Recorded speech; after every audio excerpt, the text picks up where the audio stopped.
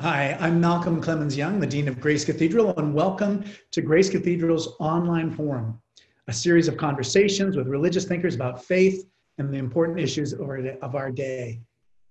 Each year, the Cathedral chooses a theme to reflect on, and in 2020, our theme is bridges. Throughout the year, we've been talking a lot about how we form connections with people, how we reach out across real or perceived divides that separate us. In this era of so called fake news, what can we learn from the Danish philosopher Soren Kierkegaard's idea of truth as subjectivity? Theologian, poet, social critic, Kierkegaard is sometimes called the first existentialist philosopher. Does 19th century philosophy have something to teach us today? My guest this evening is Joel Rasmussen, associate professor at the University of Oxford. His focus is on the interconnections between religion, philosophy, history, and literature in modern culture. And he is one of the editors of the 11 volumes of Kierkegaard's journals and notebooks. Joel, thank you so much for joining me tonight. It's so good to see you. I wish we could be there uh, together in person, but I'm glad you were able to make it on this on this uh, on this Zoom meeting. You know, um, Joel. Uh, virtually. Yeah. yeah, right. I um, you were like the number my like the person who I most wanted to be my best friend for life when I met you. I just, when I met you, I was just like, this guy, and you know, the only thing that kept that from happening is that you live on a different continent than me. Actually, you don't even live on a continent. um, a big island. Right now, I'm on the same continent as you. That's are. good. That's good. I'm really glad. Yeah. So, you know, there's been so much that's been happening all around us in the news, um, you know, with the Black Lives Movement and with COVID 19, um, and just, you know, just in the political ether. Um, there's so much happening. And I wonder um, about what connections you see with your life work and, and these big, huge social movements that are, are happening all around us. Yeah. Um, so you're trying to flummox me early in the conversation. I see. No, uh, basically we have we have a chance to like uh, to, to, to like start with a bang. Yeah. In the old days, I, if we were in person, I would ask you more about your childhood. Yeah, yeah. No, so big interconnections between um, things that are happening and that we're encountering. Um, Black Lives Matter, um, alternative truths, etc. Um, my work is largely historical and philosophical theology.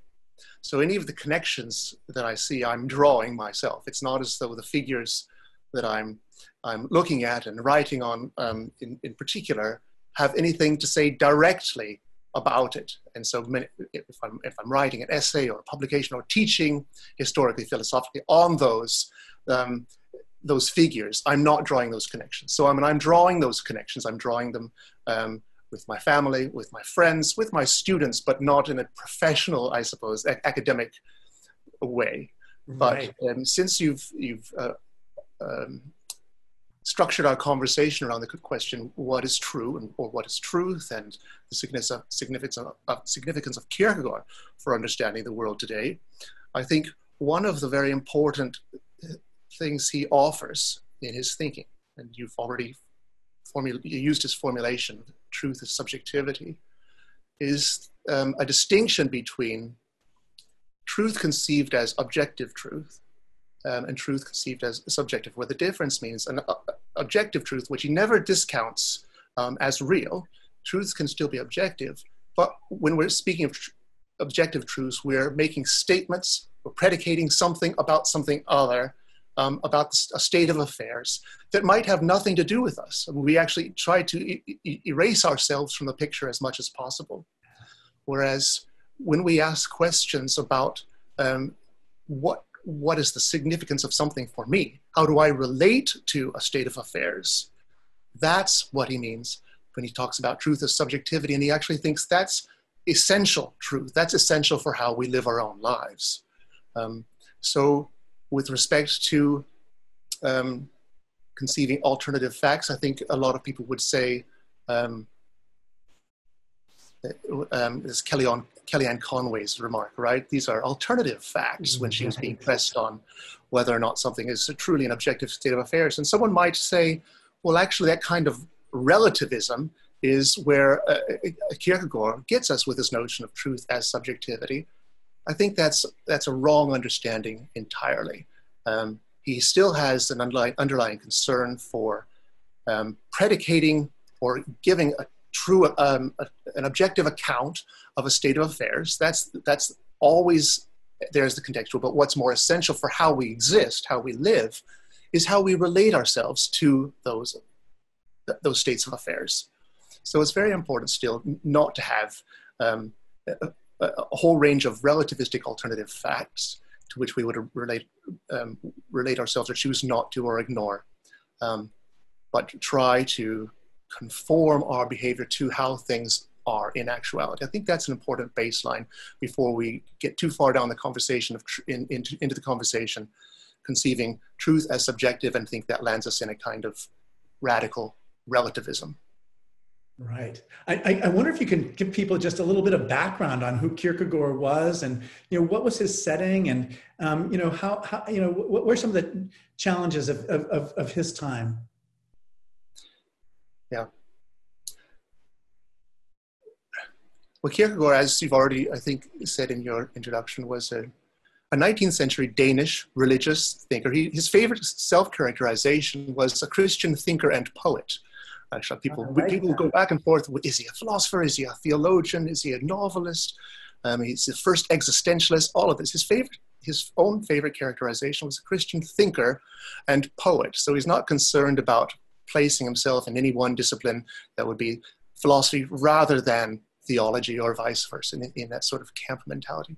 He lived from 1813 until 1855. So we're thinking that we're talking about the early part of, of the 19th century.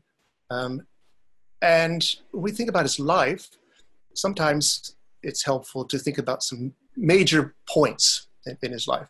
And three, three sort of, I'd say four big events characterize his life. His relationship with his father, um, his relationship with a young woman, Regina Olsen, which is an, was, he was betrothed to and then actually um, called off that engagement um, an event called the Corsair Affair, is, and, and then his late attack on Christendom. Um, he didn't travel a lot, so there aren't a lot. His life wasn't particularly eventful, but these four big things really do shape um, his life and help to understand his writings. But they're not really a Rosetta Stone to his writings either. But just to give a character. Um, uh, yeah. Um, his father cursed God on the heath, right? that was that um, seminal and so so so what effect do you think that had just in in terms of how he understood authority understood the church understood himself yeah so may I may I tell you a little bit more about that background story? Yeah, I want to hear all about I mean, it. It's, it's, it, I think it's enormously important because um, his father was a shepherd boy initially uh, yeah. uh, on the heath, as you mentioned, in Jylland or Jutland, which is the part of um, the part of uh, Denmark that is um, contiguous with Europe um, and not just north of Germany. Um, and he was he was a brilliant young boy, but he really disliked the life of, of, of, being a shepherd boy, and he did curse God for his his lot in life. Um, and as a as a strong pietist, Lutheran pietist, um, he, this was a, very significant event in his life for which he felt guilty for the rest of his life for actually cursing God. I'm not. It's really hard for us, I think, in the 21st century, where we might actually take uh, swearing oaths somewhat more lightly than a, a, pietist would have in the 19th century. To think how seriously um, he, would have taken that, and and that that really. Um, really in a way scarred him for life and he actually felt god had a kind of um, ironic way of punishing him, if you will. It was by calling um, a wealthy merchant uncle, uh, having a wealthy merchant uncle call him to, to Copenhagen, where he apprenticed him. And he showed incredible business acumen. I said already he was, he was very, very intelligent. Um, and he was able to become a successful merchant in his own right.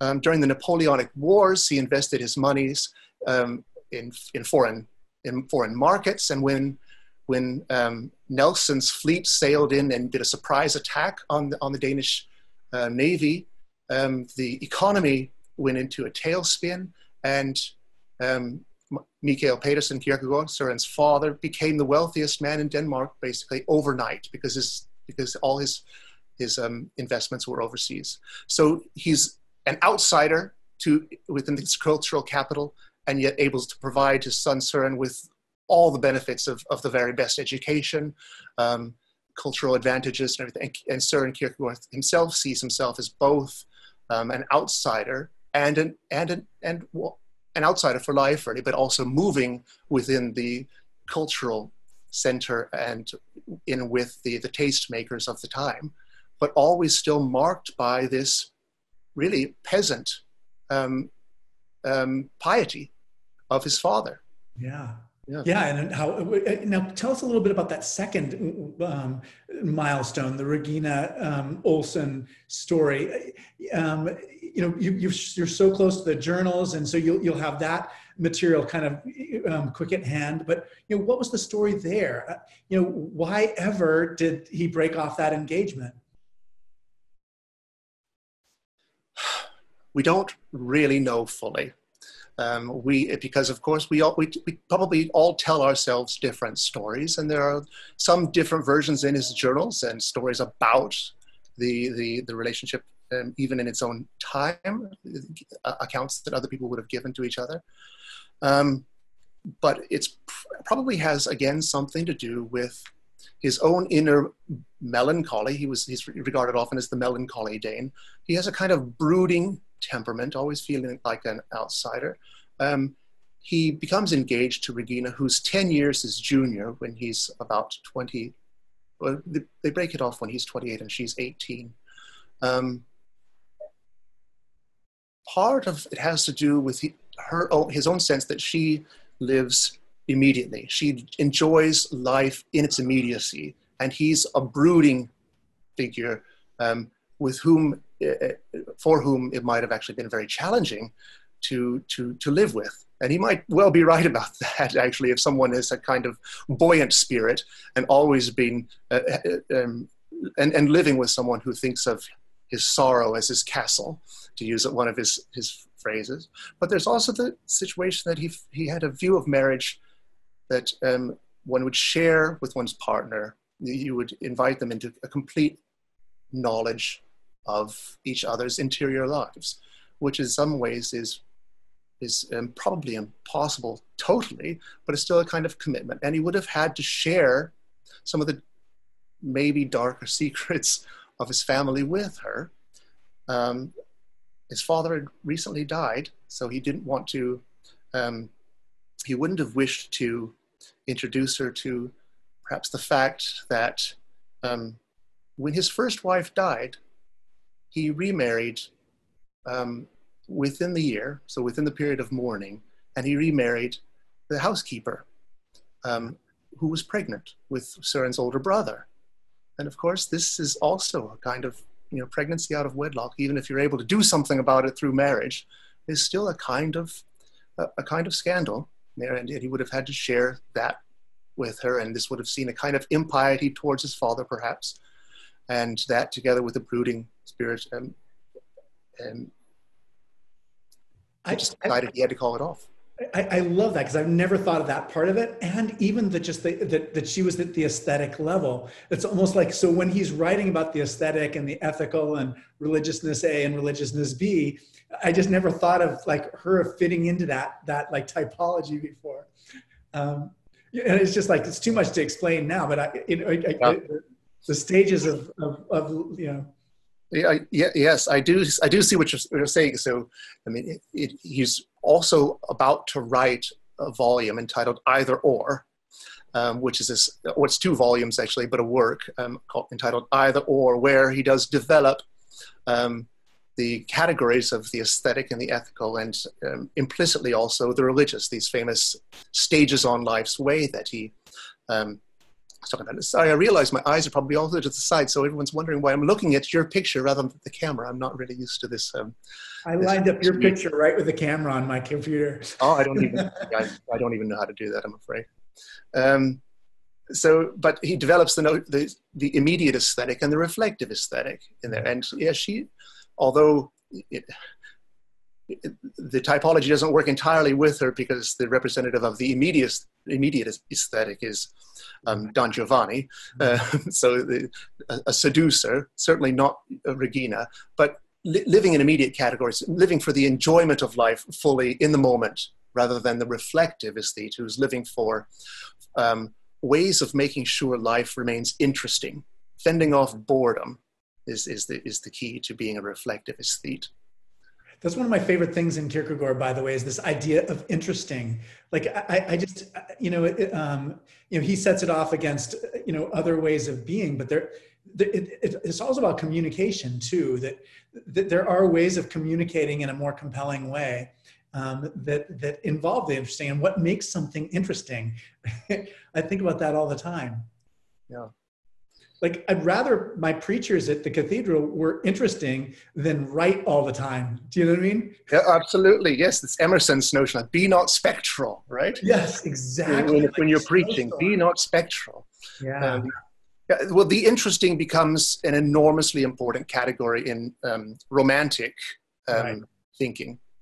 Um, um, and in fact, a figure who is actually very important in Kierkegaard's, Kierkegaard's own um, his doctor, his magister thesis, which actually becomes a doctorate, um, is Friedrich Schlegel, who says the, the, the key to understanding classical aesthetics is understanding that the, the aesthetic category is always concerned with the beautiful.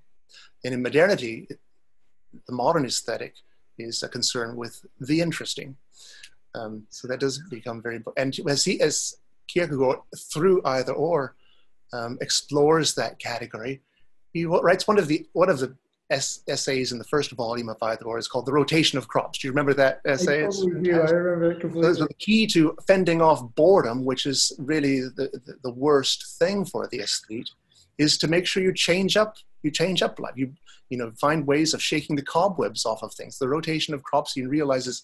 He says this is a this is a metaphor I take from agriculture, but we can employ it on in, in daily life. You know, when you read a book, confound the author's expectations by starting in the middle. If you go, if you go to, if you take someone to the symphony, um, you, you, you, take, uh, well, it's always gendered and sexist from, from a 21st perspective, sensory perspective. But if you take a young lady to the symphony, um, say let's let's catch the carriage right after the overture. You've enjoyed the best part, the anticipation. It's it's only downhill from from here, and in a way, this also becomes uh, one of the, the downfall of um, the romantic aesthetic more generally. I think Kierkegaard thinks, because um, life is lived on in primarily in anticipation of enjoyment rather than enjoyment. And so everything gets reflected through the imagination, how to keep things interesting. And actuality, live the daily life we all have to live, um, is, is often going to be a letdown, you know, compared to, and, and, and we face this, you know, in, in the age of ro- romanticism, they had the novel from which we get the word rom- romanticism, right? With the roman. Um, um, in our age, we have we have um, we have film, we have Netflix, we have um, Instagram, Instagram, etc. um, all all sorts of other ways just to, to maintain. But but is does it, we're fending off having to deal with our actuality in many ways, but does it sustain us? How how long can we scroll before we realize actually we're kind of in despair? Yeah, yeah, I love that. I love the idea of, of Instagram as being that you know constant, constant longing and desire for for the interesting, for what's new, for what you've never seen before, and and you know what's new now in three days is going to be completely different. Um, but I, I, love this way of thinking about Kierkegaard in terms of these like major milestones. And the Corsair affair is is another. You're yeah. right. It's just like the seminal moment in his life which um, really changed you know how everything went afterwards. And maybe you can t- talk a little bit about about that. I i, I yeah the corsair affair is um, uh, probably about we're about five or six years on now. And by the way everything's quite compressed in kierkegaard's life. He only lives to 43 years old and most of his writings and it's a vast literary output. Um, the, the, the danish uh, critical edition, including the commentary, so that's not entirely fair, is 55 volumes, and most of that was writ- written within a 14 year period.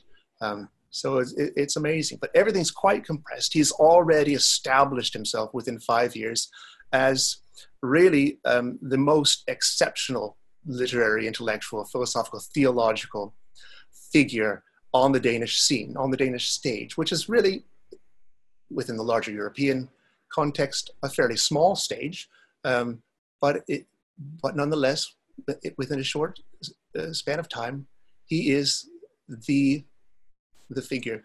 Um, and there's this a magazine called The Corsair um, that is a literary but also satirical magazine, and they publish regularly um, sort of takedowns of various figures. I mean, uh, um, take, taking the taking the taking the Mickey um, yeah. out of a lot of the, the prominent figures, um, and Kierkegaard is re- really offended by the, the, the, level of the discourse in, in the in, in the Corsair. Um, he knows everyone reads it, but polite society doesn't ad- admit that they read it. Um, and he's willing to say, um, when they say of him, um, of one of his pseudonyms, we haven't really talked about the pseudonymous authorship. Right. When they say of one of his pseudonyms, um, that, and it's actually of, of, um, of um, Victor Eremita, um, uh, that, that, you know, they celebrate the immortal Victor Eremita. They have only good things to say about. It. And by this time, people know that Søren Kierkegaard is the author of these pseudonymous writings, over 10 different pseudonyms um, he's publishing under. Um, and they, they celebrate the author of this, and he says this, this is not, not really um, the kind of praise a, a, figure would long for. It's far better, far better to be taken down. And they, so they let him have it, actually, for being critical of them praising him.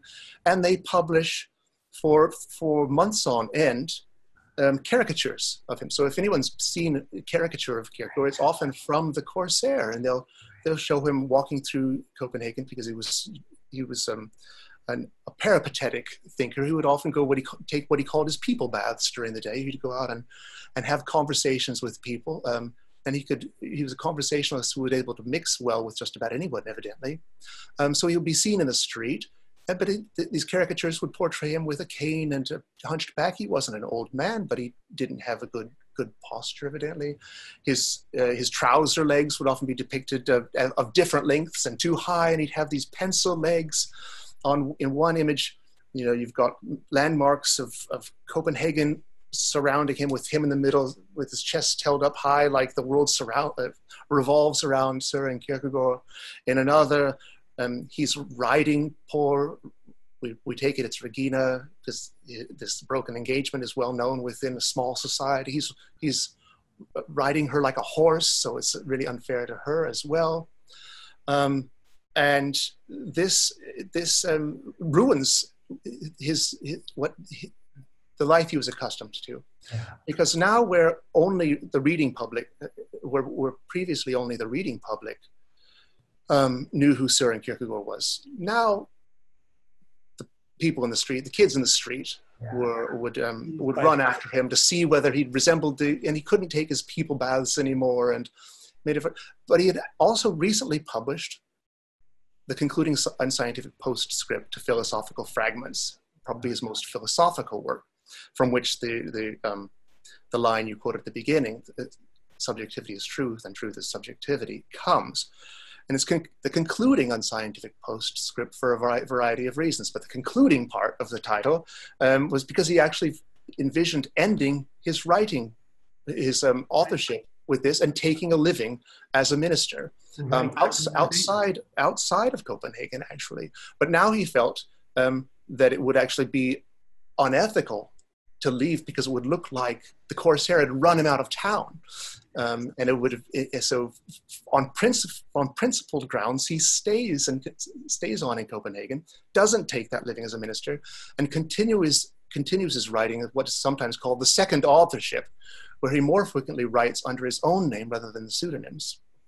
He had always written also under his own name alongside, and every time he published one of the pseudonymous works, so I've, I've spoken of either or on the early writing and um, postscript, concluding unscientific postscript, the, the later writing, but between there we also have titles, famous titles really, uh, yeah. Fear and Trembling, repetition, the concept of anxiety, um, philosophical fragments, um, and then Works of Love comes out in 1846 under his own name.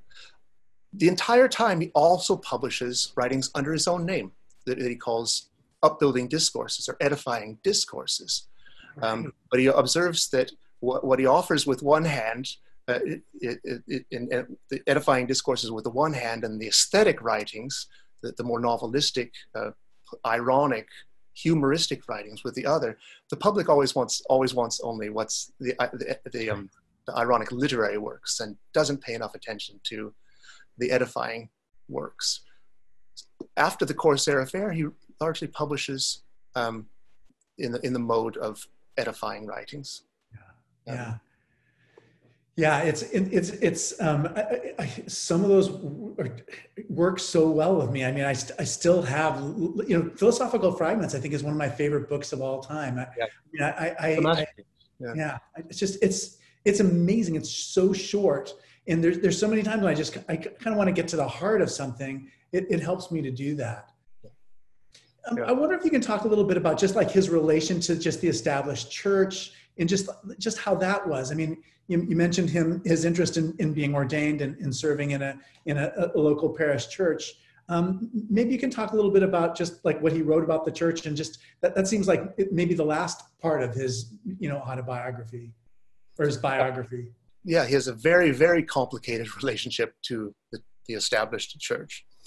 Um, he attends various churches um, in copenhagen faithfully he thinks of the primate of, of um, Denmark, um, Bishop Mynster, um, as his father's pastor, and would have been the person who had catechized and confirmed him, uh, Søren himself, I believe. Um, and yet he represented the, the, established state church, and he was very much anti-Erastian, to use a kind of technical theological word, um, where the church and the state are in a kind of collusion, and the church is effectively a department of of the state. Um, and he, he, thinks this is a, a, compromise of the gospel with with um, with culture, with the established order. When the church the church is called to be um, um a, a witness to the truth in any culture or established order, not to conform itself to that established order or to be in the world but not of the world. He takes that he takes that very very seriously, and he doesn't think that the, the cultured denizens of, of Copenhagen take that anywhere near seriously enough because they think basically the church the, the, the, church the established church is the church victorious. It's, it's not it's it's never it's no longer the church militant which is a, again a problematic term in, in, in the 21st century, but the, the, church that sees itself as in the world but not of the world. Um, the church that's instead of the church that's engaged in the struggle, the church that's triumphed in the struggle. And, yeah.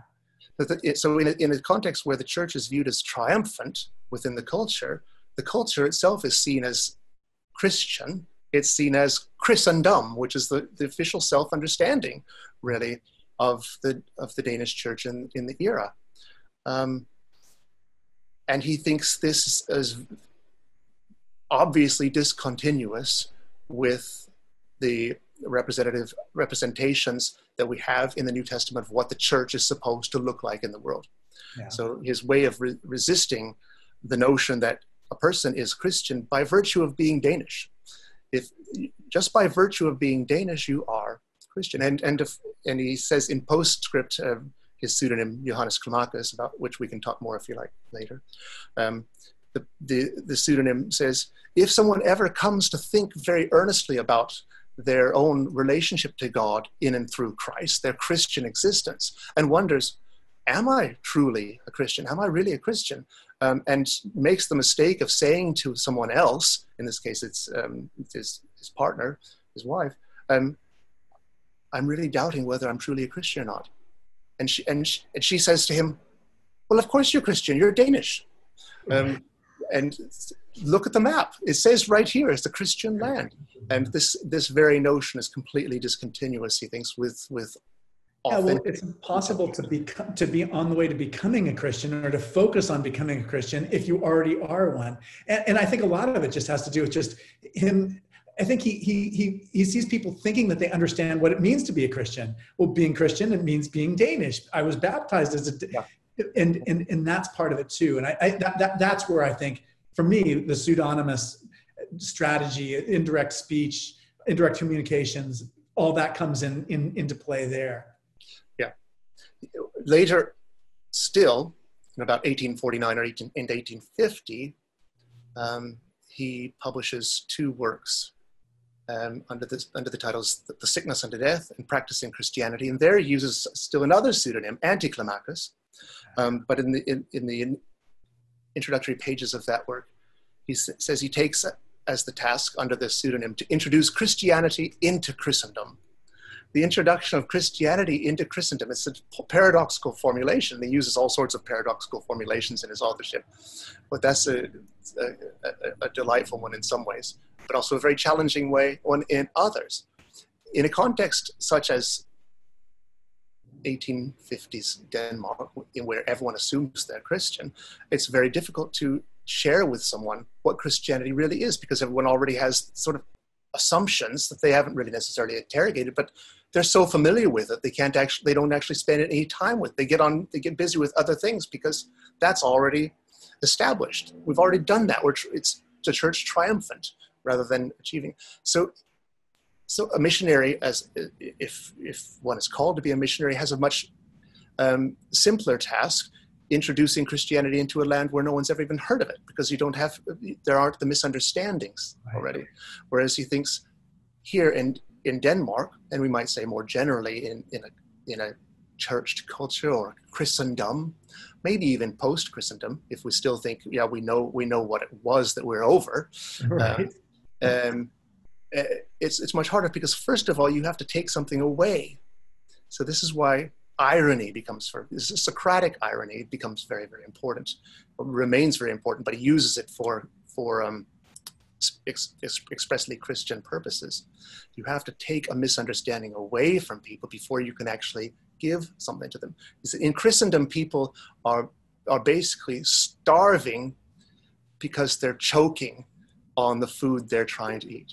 You've got to take it away from them in order to, to, to nourish them with with the, the, the food of the gospel, as it were in your book you have a you have a quote from from of, of this, this summarizes just that. This is this is joel's book by the way. And joel you always um, were sad that it, it, was so expensive. But man yeah. this is one of the best deals of my life. Oh. um, i was reading your book. I actually was at a conference and they're, they're, we're working on our, our mission statement. And my mission statement is completely from joel rasmussen's oh. irony and witness. But here's the here's the quote he said, um, uh, when this is the case, the art of being able to communicate eventually becomes the art of being able to take away or trick something away from someone. This seems very strange and very ironic, and yet I believe I have succeeded in expressing exactly what I mean. That's from page 104. You know, one of the things I love about your your career since we um, since our paths have diverged. You know, I, I wrote um, a, uh, one of my general exams, my modern general exam was on Kierkegaard. Yes. Um, and yeah, so I, and I love that material. And I, you know, I was so jealous when you went to, to Denmark and learned Danish, but Heidi would have none of that. but um, you've gotten so close to the to, to, Kierkegaard's journals, and all I have is that like little Harper Torchbook version of um, yeah. the journals. Like it's kind of like best of. Um, you know, but what was it like going through the, the materials in the journals and just, you know, how, how did that kind of change your, your, your impression of Kierkegaard and his thought and in time, et cetera? Well, we've only recently finished. I'm, i mean, I'm a member of a team, uh, um, and not even the most important member of the team at that. Um, the general editor is uh, Bruce Kirmmse, um, who's now Sir Bruce Kirmmse. He's been knighted the, with Order of the Dannebrog, which is another delicious irony because um, Kierkegaard himself often uh, uh, criticized the fact that Mynster and Martensen, these people he was often criticized, were, you know, preaching with their medals on their on their on their preaching gowns. Um, Um, and for, for Bruce's work on Kierkegaard's writings, he's himself been knighted. Um, um, but but it, but it's a great honor, and I'm just happy to have been part of the team that worked with Sir Bruce uh, on this, and getting so close to the text work that you know we've been working on since. Well, the, the team was assembled in 2007. I think I came a, a few years later when I was, I was invited on, I think 2009, um, and we've only finished this year. So yeah. 10 years. It's been painstaking working through what what is 11 volumes in the in the English um, it felt like every single time the term was finished and I was finished teaching, there, there the, the journals were waiting for me to, to work on. Um, and I've both loved it, but also felt that it, um, it will be good in, eventually to turn to a different kind of, of scholarship. So finishing it's very bittersweet. We were supposed to mark the completion this um, on Kierkegaard's birthday, oh, yeah. uh, May, May 5th, yeah, yeah, 2020. And there was um, um, there was going to be um, a celebration of the completion at the Danish Embassy in Washington, D.C., uh-huh. sponsored by Princeton University Press and the, and the University of Copenhagen and and and the um, the embassy. But because of the pandemic, that had to be called off. Hopefully postponed only, but um, it, it, it was a non-event. But still, so completing it has been bittersweet because I do feel like um, working with his journals is a kind of insight into his own daily writing practices, almost actually very, very much like um, the spiritual journal tradition that you've worked on. Malcolm. Exactly. I, I, kept thinking about, you know, I've read Bronson Alcott's journals, Henry David Thoreau, Ralph Waldo Emerson, you know, all the early Puritans. You know, what was the tradition of journal writing um, like in, in, in Denmark? In, in what ways did, was he uh, unique? In what ways was, were, were the things that he did pretty standard for other journal writers? Um, the, the practice of, of, of writing in a, in a daily way, I think is pretty, is pretty standard. And it was, it's usually devotional, although sometimes he's talking about um, his reading of contemporary German philosophy. Sometimes he's writing about um, uh, middle-aged troubadour romances. It's fantastic. I mean, that's one of the most enjoyable things I was doing translating last year. Was translating this troubadour romance, just far-fetched something. I've never come across anything like this before, and he had spent the time to sort of annotate his own readings, and I don't think that's in a typical spiritual journal um, so, um, and he's also working through his ideas that then many of which appear in his in his published writings. Um, and he's organizing the journals in a way that I think probably most don't, um, because most people don't anticipate that they're preparing their journals for publication someday. And he increasingly became aware that these journals would be read um, by by people who came after him, as and he was correct about that. So he's organizing, he's he's labeling them um, a, a, NB one, two, three, and so forth, and and they're just very well organized. We know primarily pretty much when each one starts and begins, and we can coordinate it to the writings he's working on for publication. So he's all, he's perhaps more conscious of the fact that there will be a readership for these journals than most um, spiritual journalists are, I think. Have you kept a, a, journal yourself just to kind of see what that was like? Or, you know, what, what is your history, your personal history of journal writing? Um, you, you, might be surprised to know I'm very indolent. Um, I have tried and I've never been successful at it. Uh, I think the way we'd have to work out what I'm doing on a daily basis is by reading my emails to students and colleagues on a daily basis. Um, no, I, I, I maybe maybe I will, but that yeah. is not something I've I've done. Exactly. How about you? Have you, Malcolm? If I'm not writing a sermon, I have. If I'm not writing sermons, I have to be writing something else. So the most documented period of my life was when we were closest. So yeah. when I was taking you know, classes at HDS and doing the doctoral work. I wasn't writing as many sermons, and so I did write a lot of journal. And you know, part of it was I was writing about a person's journals, and so I, I needed, to, I wanted to know what it was like for me. Do you know what I mean? In terms of like, what would I choose to include? What would I like? What would be the rules of writing that journal? Um, so, so, so it had that kind of practical element to it too. Mm-hmm. You know, um, I, I, you know, one of my favorite things about you, and I, I'm, I'm looking forward to like your future because I, I know getting done with the, the journals, the Kierkegaard's journals is, is you're right. I'm, I'm glad because it'll liberate you to do other things. Um, but you know, I, I, I always think of the American pragmatist when I think of your thought, and, and I wonder if you can just talk about just, you know, Charles Sanders Peirce and William James and John Dewey and, and the whole lot. I mean, it, it, was that just like something that you were interested in as a young person and it, it doesn't have a continuing effect on you or, or, or, you know, uh, what, you know, what is American pragmatism? And then, and, and, and what continuing role has it had in your life, if any?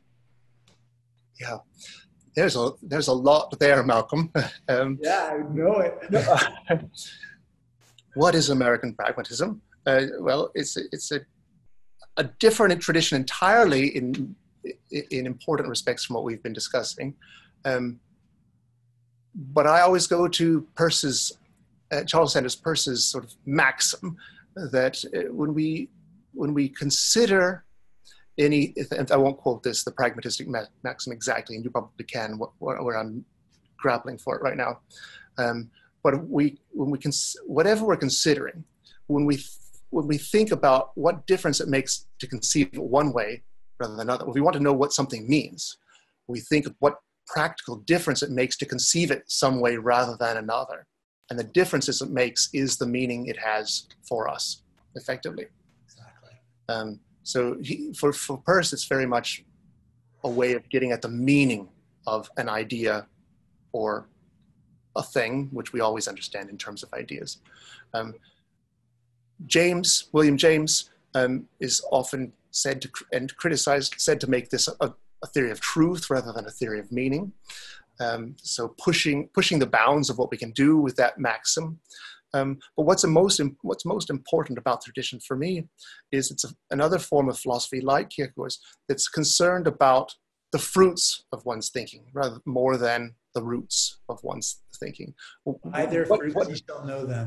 By, your, by their fruits you shall know them.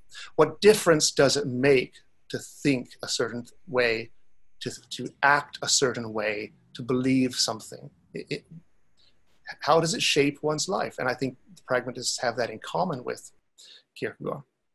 And they have remained um, important to me.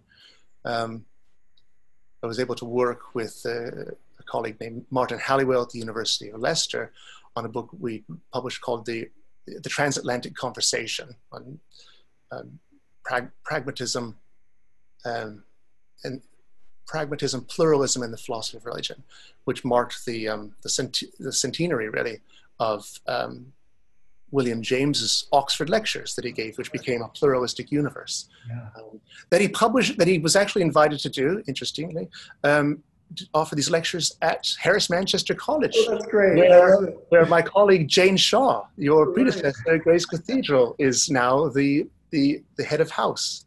Yeah, so oh, that's great. Good connection. And I think of um, just uh, we. Uh, I, I, go by the Swedenborgian Church every day that has William James's um, dining room table and dining room table sets. So I do think of you know in his idea of just like the cash value of an idea, like you know, uh, how does you know, in, in Peirce's idea of just like this community of inquirers too, I just think is is is such an interesting idea too of, of, yeah. of truth not being something that's like inherent in the world, but it's it's part of a, a community's experience of that world. Yeah, that's right. So it also has it's it's social and it has to do with how we relate to each other as well as to the truth. Back to our notion of the subjective dimension of truth. It's how we relate to each other, as well as to an objective state of affairs. Yeah. You know, you talked a little bit about just that transatlantic conversation. I wonder if you can, um, you've been um, working in, um, in Oxford for, for a while. I wonder if you can tell us a little bit about the difference between the English system and the American system and, and just, you know, what American universities may have to learn from, from um, schools in the UK. Um, yeah, that's, that's hard. Well, I, I don't have a lot of experience with the English system more generally. I teach at one university and I um, so, sort of parachuted in rather than coming through, as you know, I, I was a, a, student. We sent you there as an advanced, as the advanced paratroopers. and at, at, Oxford is a kind of, a, um, it's, it's, in many ways, it's kind of, and unfortunately in some ways too, rarefied air. We have the advantage of using the tutorial system.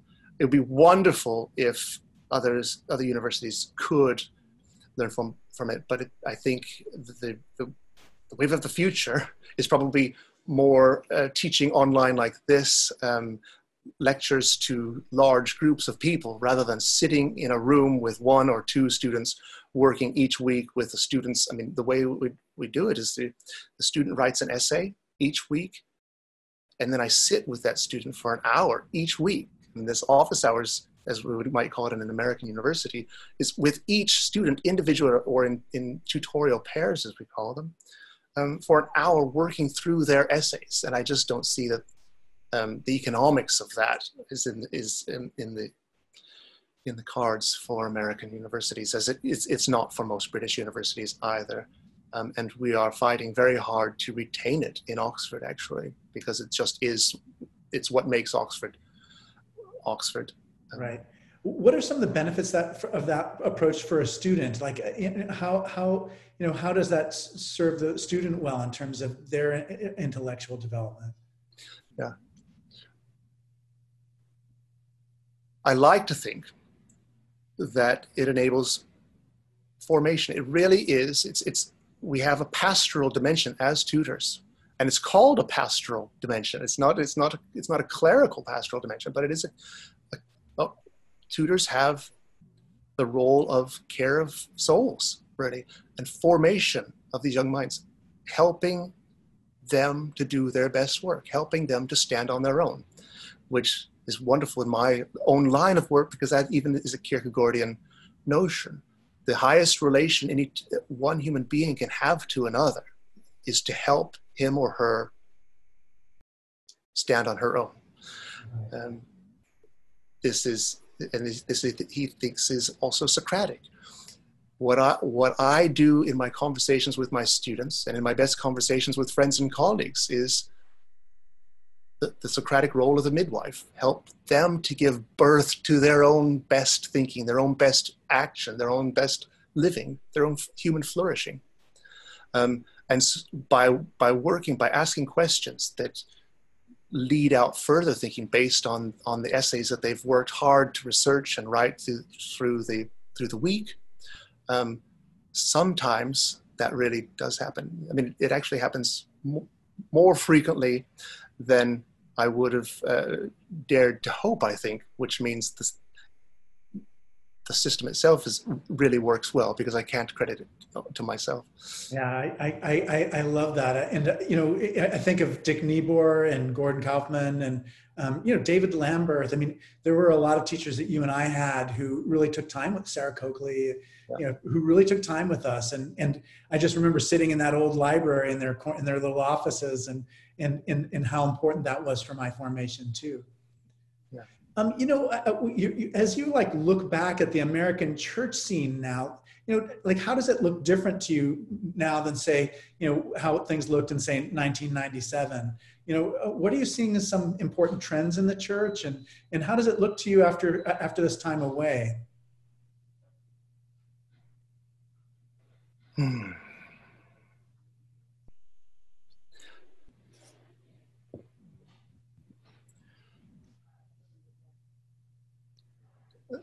I, am clearly struggling to answer the question. I'll be yeah. honest. Um, my familiarity with the American church scene is um, as the husband of a congregationalist minister in my adult life, um, and and Tanya, my wife, serves a congregational church here in New Hampshire, where I am during the pandemic. Um, and each congregation has its own distinctive character. Um, but I would say generally, even since 1997, when, when there were already concerns about this, um, the church is very much having to find ways of, I don't like to use the term, but market itself in, in a very competitive marketplace um, where it's vying for the attention, the commitment of people. This was already the case in 1997, um, and it's even more so now. And while Zoom Church and its various um, variations that people are using right now um, is a, a real uh, lifesaver right now. I also fear that people will be get used to used to it and not come back. And I know that's one of Tanya's fears. I don't know what you think. Um, it might be very different to be in a cathedral setting than in a in a, in a local parish. Um, well, when, um, when everything first happened, our vice dean is um, Ellen Clark King, and she's actually going to be the dean of um, King's College London. Um, so she just just got that appointment. We just announced it. Like She's wonderful. But you know, as soon as COVID hit, the two of us had a conversation. We asked, "Are are people going to not come to church as much because they realize how easy it is just to you know make a cup of coffee and sit on the dining room table and watch it on your screen?" Or are people going to really appreciate being together because it, it, we see we see value in it in a way that we just didn't before. Yeah. Um, and and it, it's hard to know, um, you know, what direction it's going to go in. You know, it really is. Um, it's clearly the case that for for different people it will go in both, both of those directions, right? Uh, there, there are people that anecdotally I hear really enjoy it. They like being able to sleep in and come to Zoom church in pajamas with the coffee. But there are others um, really clamoring in, in Tanya's congregation um, to to meet again in the meeting house because they they miss that, and it's it's the, the congregation has de- determined now that it's really far too early for that, and we'll carry on with the Zoom church for the for the for the summer anyway. Yeah, it's a it's so tough. I mean, if you had told me in January that our Sunday attendance would be like triple what it was in um, in in in five months, I would never have believed it.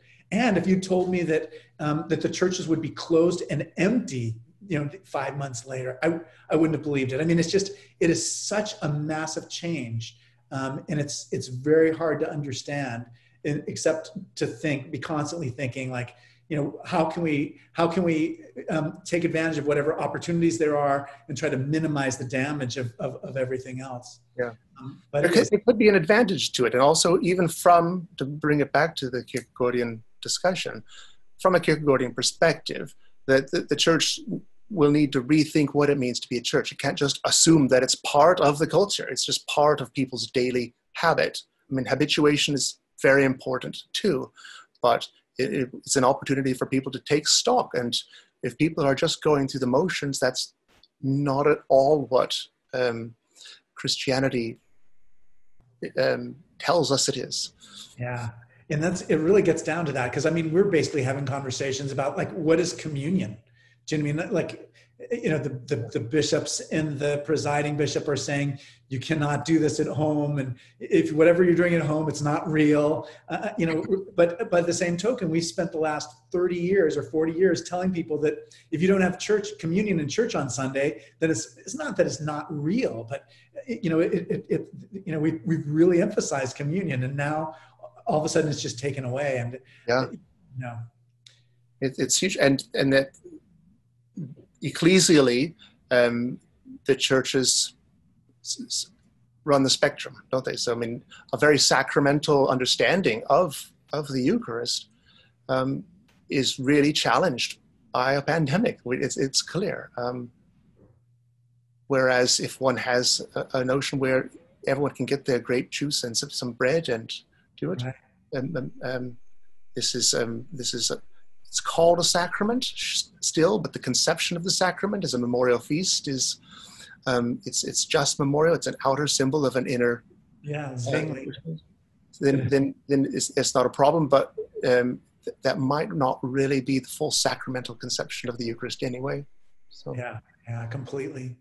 Um, so I, I, I, like I want to hear so much about some of the projects that you're working on now. Now that we can lay those journals to rest, I can't wait to see them in print. I, am looking forward to checking them out of the library. Um, so, yeah, so don't, um, they're far too expensive. Again, they're far too expensive. I'm still trying to buy Thoreau's journals. I have the the Xerox versions of them. I'm gradually replacing yeah. them with the bound versions. Yeah. So it'll be a while before I get to Kierkegaard's journals. But um, what are other things are you researching and thinking about and working on? Um, what are you writing these days? Um, I'm, I'm writing notes in the margins of students' work mostly, yeah. um, but but Friday of this week, our term comes to an end, and then we have an examination period for which will be a, about a month actually of marking, and then I will turn once again to um, something I'm been working on for a long time, and it's been languishing. I'm struggling a bit, but it's called Christianity and the Cultures of Modernity, from Westphalia to the Great War. Uh, so 1648 to 1914, and it's an attempt to move from a more specifically fo- works focused on figures and their ideas, philosophical theology, um, to larger themes. Not to be world historical exactly, yeah. um, just to just to challenge myself now. And it's proved to be much more of a challenge than I even anticipated. I'm trying to do a history of, of Christianity in modernity um, looking at both the vertical dimension, as um, Jaroslav Pelikan will talk it, so the development of doctrine and the ways that the ways that um, Enlightenment philosophy, industrialization, um, ur- urbanization, yeah, natural scientific challenges change the way Christians have conceived how to understand their doctrines. That vertical, but also horizontal, uh, the horizontal dimension, looking at Christian conversations with other spheres of life entirely and other religious traditions as well. Um, and it's it was is probably I've bitten off more than I can chew. I'm sure of it, Malcolm. Um, I think but, it's going to be someday. I'm, I'm, looking forward to it so much, Joel. I, I between irony and witness was I, I, I loved it. I loved hearing your voice. Um, and I love your, you know, your interest in the imagination and poetics and the aesthetic. Um, and you know, I, I, was reading Schopenhauer for a sermon this last week, and you know, there's there's ways. Yeah. know, he's just kind of anticipating Darwinian evolution in his yeah. own way. Yeah. Uh, so, so I can imagine a, a, work that's focused on those general ideas rather than the particular exponents of those ideas. You know, I, um, I, I, as I see from your perspective, I wonder what your. Um, by the way, I've got a very special guest who would like to say, say hello to you. yeah, you better hurry up. It's on. You're on TV. Uh, there's oh, Heidi. Hello, Heidi. She said she absolutely had to say hello to you, otherwise it wouldn't. She yeah. call this. A, but I, I wonder what um, what's giving you hope these days. What signs of hope are you seeing in in society? What are what, what are you what are you what are some things that you're noticing about the world around you? Yeah. Well, strange as it may seem in some ways, I think the Black Lives Matter movement is in, is in fact an enormously hopeful moment in society. Um, I'm not not the best person to speak to this at all, but um, the fact that, we it's it's a time of consciousness raising, just like we might have assumed, like the church might have assumed um, it had it was a church triumphant. I think a lot of people in the a lot of white people in the 1980s and 1990s assumed racism had been addressed in the in the civil rights movements of, of the of the 60s largely. Um, clearly, it wasn't. So this kind of uh, um, reckoning um, provides hope that we can actually find ways to address and redress systemic problems that are at the at the foundation, not, uh, certainly of of this country, but um, al- also we're seeing now with the protests in, in London and Paris, um, systemic throughout Europe, and that um, yeah, whiteness is a problem. The conception of white, whiteness is a problem. And, and, I'm hopeful that we can be transformed by. Rec- know, one of the things we didn't get opportunity to speak about with, in connection with subjectivity is truth. Kierkegaard uh, or, or Johannes Climacus says, is there, is there still a more intensive um, way of putting this? Yes, subjectivity is untruth um, as well. Subjectivity is truth when we rightly relate to th- those things that are the most important to us and God as subject, he says in that same section, can only be related to subjectively because God is subject. We cannot have an objective relationship to something that is no object in the world. But our relationship to that is always also corrupted. So the recognition that our subjectivity is untruth, said doctrinally, is sinful, that re- the recognition is, is salutary. So we can actually have take hope from confessing our brokenness, our, our, the ways in which we are in untruth. Yeah, and I especially think of just that, that American tradition again. It's just like behind that American pragmatism is this idea that uh, of, of, an equality of persons that we have not realized in our society. It's like this promise to treat people equally, to regard people as having equal dignity, and we just we have not at all lived into that promise. And yeah. this is a reminder just how you know how much we need to make make society different to, so that we can we can be true to that promise. Yeah, there's no, there's nothing objectively true about the promise. The promise is an ideal yeah. to be to be enacted, and but we can only enact that ideal through a, an earnest subjective relationship to it that doesn't take it for granted, cannot take it as having been established already. It's always a project. Right. So, so and that, and that gives hope because it, that too keeps life interesting. Um, yeah, but, exactly. but also it's, it's closest to what is is would be faithful if we could do it. In a way, it's like the an analogy is just um, like that, that analogy between Christendom, just like that we, we that we need to become Christians and it, you know and we're not going to solve our race problems by denying that we have race problems. And we're not going to solve our religious problems by um, denying that we have religious problems. Do you know what i mean? That's yeah. there, there, there's there definitely um, uh, a parallel but I, I, can't believe it because I still have a zillion questions and some of our, our, our audience's questions too, but they, the, the, tech, the messages didn't get through from Rebecca. Oh, no. But I'll ask her to send those questions to you um, so that you'll know what questions we had from our audience because um, there's some very good ones. Almost in, in, invariably, the audience questions are, are by far the best, but they just, we had a lot of technological problems that you just didn't see that were behind the scenes. Yeah. So we weren't able to get to those, but I'm, I'm disappointed, but we'll send you those questions. I'm glad we were able to get those. You were able to get them sorted out, so we could talk to each other at least. Though, so thank you.